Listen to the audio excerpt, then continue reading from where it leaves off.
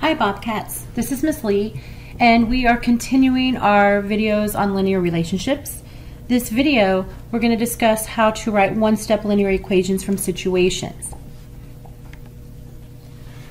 Okay, Jessica used the following formula to determine T, the sales tax on P, the dollar amount of a customer's total purchases at the t-shirt shop where Jessica works. A customer bought a red t-shirt for $15 and 15 metallic letters for $1.50 each. What is the sales tax on the customer's purchase? All right, so the equation we're given is that T equals 85 thousandths P. So our first question is, what does the variable T represent in the equation? Well, if we go up here, it tells us that T is the sales tax. So we're going to fill this in, sales tax. It's very important when you're given equations for situations that you're able to identify the different parts so that you can make sure that that equation makes sense and that it matches the situation. Then it says to highlight where the variable t is defined in the problem above. So you can highlight it. If you don't have a highlighter, you can underline it. But it says t is the sales tax. All right. Now, are we given a value for the variable t? Um, does it say anything here about how much sales tax she's paying? No, we're not. So the answer is no. Okay, then what does the variable p represent in the equation? So p is the dollar amount of a customer's total purchases. So we can write total purchase, total purchase amount.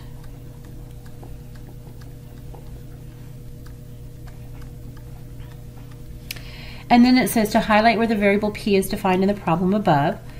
Um, I would use a different color highlighter. If you don't have a highlighter or a different color, then you can circle it if you want or use a pen. So P is the dollar amount of the total purchase. Okay, are we given a value for the variable P? If so, highlight it. So I'm actually going to use the same color, and we are given a dollar amount. We're told that they bought the red t-shirt for $15, $15 and 15 metallic letters for $1.50 each. And then what is the value? So we're going to have to do a little bit of math here. The value is going to be the $15 for the t-shirt plus the 15 letters that are at $1.50 each. So if we do the math, we have the $15 and now we're going to need to multiply the 15 letters times the $1.50 each and you're going to get $22.50.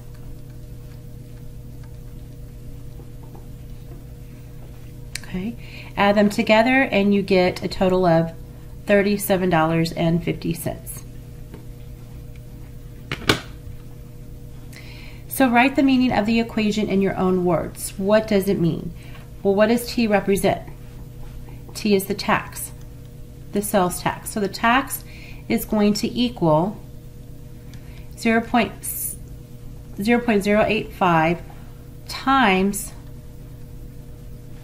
times what? What is the P? The total purchase amount, times the purchase amount. So you could actually solve this for t by plugging in our p value of $37.50 and then multiplying it by 0.085.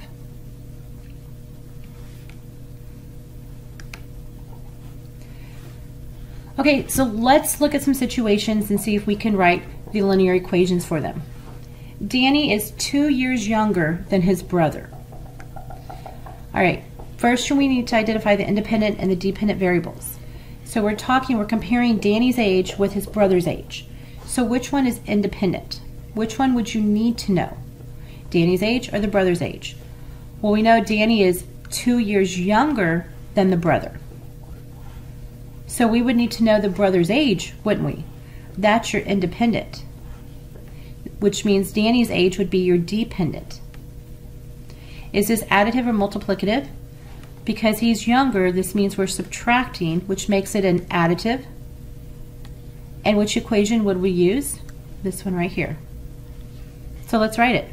Y is going to equal, and Y is Danny's age. Danny's age is going to equal X, which is the independent variable, his brother's age, minus the 2. And there's your equation. Let's do another one. Each day Macy gets three hours of homework.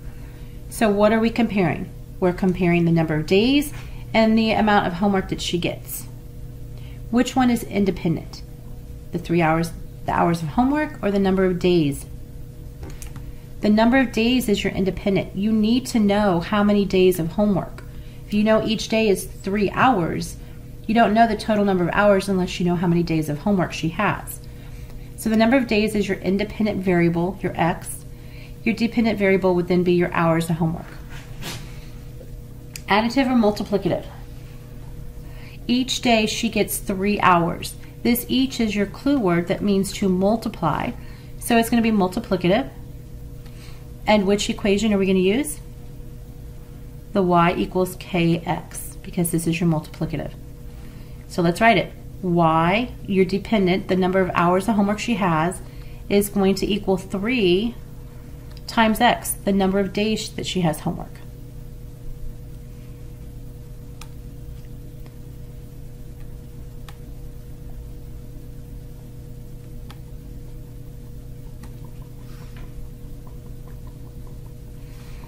Okay, Matthew's business partner gets half of Matthew's profits.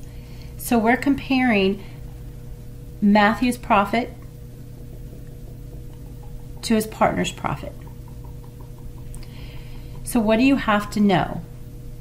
Well, you don't know. You know that the business partner gets half, but you don't know how much money the business partner is going to get unless you know how much profit Matthew makes. So Matthew is the independent, and the partner would be the dependent. And it says that he gets half. Well, that's the same as multiplying by half or dividing by 2. So this is going to be multiplicative, which means we're going to use this equation format right there.